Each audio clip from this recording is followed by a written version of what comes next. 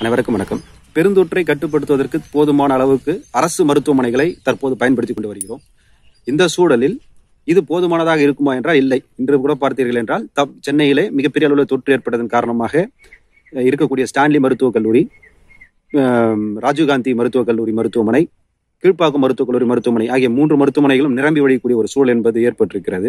இந்த சூழலில் அரசாங்கம் கார்பரேஷன் கார்ப்பரேஷன் என்ன சொல்றாங்கன்னா நீங்க கல்யாண மண்டபங்கள்லாம் கொடுங்க நாங்க வந்து கொரோனா வார்டு போட போறோம் அப்படின்ற முறையில சொல்றாங்க.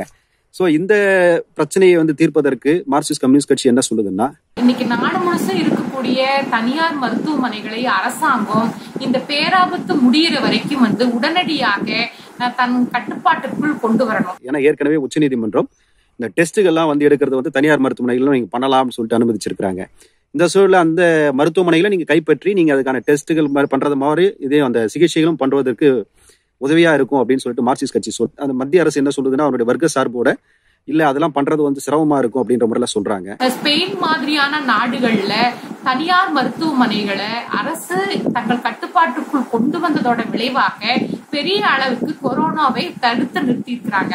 ஸ்பெயின்ல அது வெற்றிகரமா அது பண்ணியிருக்கிறாங்க அப்படின்னு சொல்ல வேண்டியிருக்கு. அந்த மாதிரியான முன்மாதிரிகளை வந்து அரசு வந்து பின்பற்றணும்.